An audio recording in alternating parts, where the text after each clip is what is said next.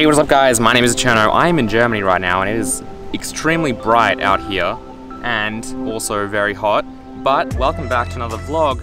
Today I thought we'd talk about what programming language you should learn first. It's a question that I tend to get pretty often from people who are trying to get into programming and are not sure what they should do in the very beginning. I did make a vlog about a year ago about just in general how to actually learn programming. Definitely check that out, it'll be in the top right corner if you haven't already. But this is just gonna be more about like what I think should be your first language.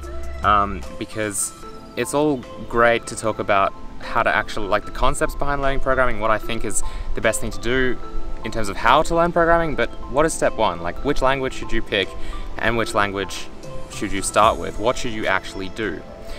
So first of all, I just want to mention that this is going to be a complete, like as all, as pretty much all my videos, this is just my opinion. It's just a complete opinion piece, if you will. It's not any kind of fact, it's not backed by anything. It's kind of my experience I'm just talking about my thoughts, really. So don't like, don't, don't think that this is definitely the right choice for you and that this is like some kind of like objective fact. This is just what I think. And really, I think that it doesn't matter. So I know that a lot of you probably annoyed because I'm not giving you a straight answer, but it's kind of, I guess that is the answer. It doesn't really matter what programming language you start with because programming languages are not, in the big picture of things, it's not really what your goal is to learn. Like when I set out to learn programming, I don't really set out to learn a programming language because a programming language is just a tool that you use to program a computer.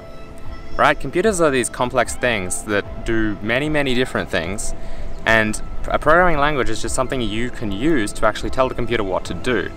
Now, there are a lot of programming languages out there, um, and the one that is kind of, I guess, fit for you or fit for the job that you're working on, fit, fit for the project that you're working on is going to depend on that project and also on you and just the scale of it and just a lot of your, a lot of different things. So I can't just say learn you know C++ or learn Java. That's the best language to start with because that doesn't make any sense. You can't just you can't just pick one language and go with it. That's not how it works. Picture picture this kind of like building a house. If you're a builder building a house, would you really be hung up on which like brand of power tools you want to use to build a house? That doesn't really matter, does it? You, what you actually need to know is how to build the house. And then the power tools that you use are just a tool that you use to actually construct that house. And furthermore, I guess, to extend that analogy, if you were building a house, you wouldn't want a screwdriver, would you? You would want like power tools. And if you were, on the flip side, if you were building something small, you wouldn't necessarily want massive power tools because that could just wreck the whole thing. I mean, it might work, but it might wreck the whole thing. Um, and it definitely wouldn't be as easy and as good as if you just used a little kind of tiny screwdriver and you'd be fine. So that kind of is the same as what programming is like and what software engineering is like. You want to pick the best tool for the job and it's way more important that you actually realize how computers work and how to build the thing that you are building, how to build the software that you are building, and how that architecture kind of all works, than actually to pick a programming language and say, that's it, I'm going to just learn C++ and that's going to be it. I'm going to use C++ for absolutely everything. That's not how it works. I mean, theoretically, you probably could use C++ for pretty much everything. It's so bright out here, seriously. And it's funny, I didn't bring any sunglasses with me for this like little vlog here because I was like, ah, it's cloudy outside, it's gonna be fine, it's gonna be like, it's raining all morning, I'll be right. Anyway, the point is, you can't, you can't get hung up on programming languages because in your life, you won't be, you won't just be programming in C++. You won't just be programming in C Sharp or Java, probably. You could pick an extremely narrow specialty, I guess, and just kind of slowly be that person who only knows C++ but knows it really well. But that's both boring and also in the real world, I don't think I've ever met a software engineer who just knew one language. Or even maybe, well, preferred to just programming in one, in one language and that's it and said no to absolutely everything else. That doesn't exist because as a programmer, as a software engineer, you build software and building software requires various languages, not just one language. So if we kind of get back to, I guess, the point of what it is you should learn first, I think that it depends on what you want to immediately do right now. So what is your goal right now? Why are you learning programming? Do, you just want to be able to tell computers what to do and build software and build like GUI tools to process data or whatever? Are you trying to make a game?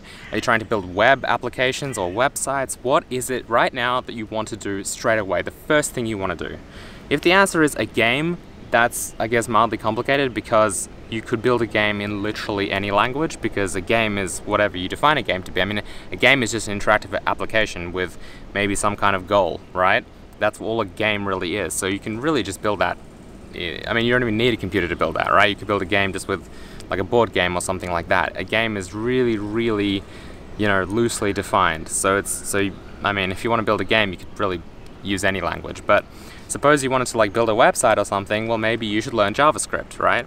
If you wanted to build iOS apps specifically, maybe learn Swift. If you want to build Android applications specifically, maybe learn Java. If you want to build, if you want to get into a AAA game studio and build game engines, then well, maybe learn C++. Right? It doesn't really matter what language you pick first because you definitely won't be stuck with that language for life unless you choose to. I'm not sure you wouldn't. You won't be a successful software engineer if you only know one language. It does, doesn't exist. So get that idea out of your head if you if that's in your head.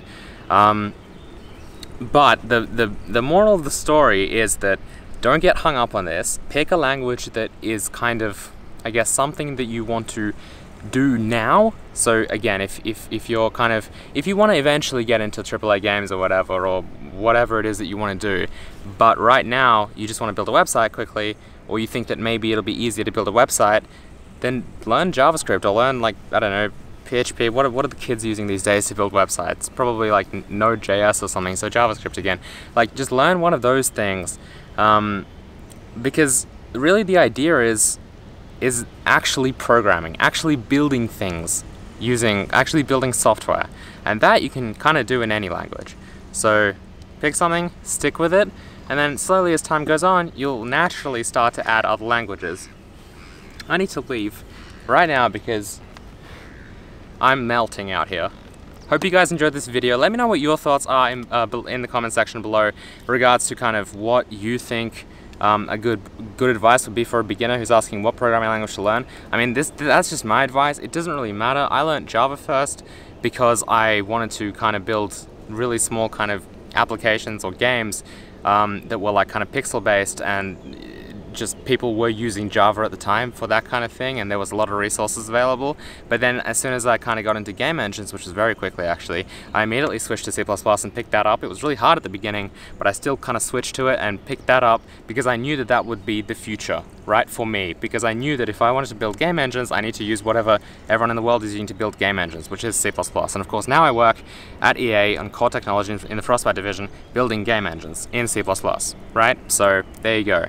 Um, that being said, yeah, leave your comments in the comment section below. Hope you guys enjoyed this video. Follow me on Instagram, instagram.com forward slash the Um, I'll be kind of documenting all my travels and stuff. I'm in Germany for about four weeks.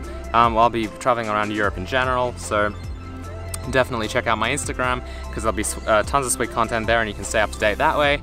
Um, let me know let me know other thoughts for vlogs and questions that you want answered because since I am on the road I'm probably not going to sit down and make any formal like C++ series videos or OpenGL videos like that because it's going to be hard for me to actually sit down with a laptop and record stuff but kind of just quick vlogs here and there are really fun um, and also uh, are kind of part of my travels anyway. So drop some comments below as to what you want to see and I'll see you guys next time. Goodbye.